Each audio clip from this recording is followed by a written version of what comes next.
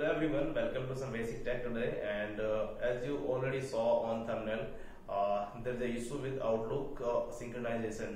And uh, how we have uh, resolved that issue through some settings uh, we will show you through my screen. And actually I have created a small PPT for just getting resolved that issue.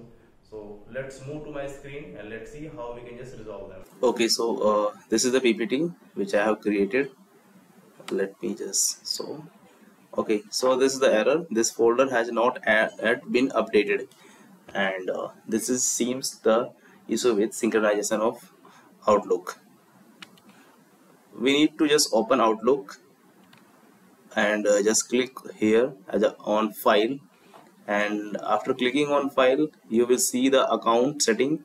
And then we need to go to account settings and uh, after just clicking that we will get a kind of panel and there we'll see a change option. We have to click on that. And then we need to click more settings.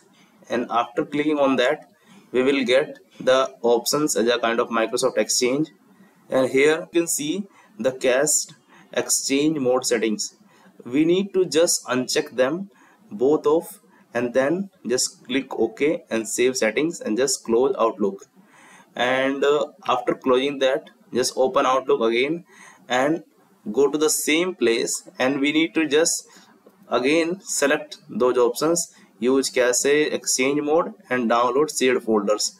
And uh, after just clicking those things we need to save that settings and close the outlook again and then open and after opening that outlook we will see the these changes i have made as a three options just like uh, uh, first of uh, all the outlook will just uh, start the synchronize of all mails and folders and then all uh, incoming and outgoing mails will be update uh, start updating and then solving error will remove.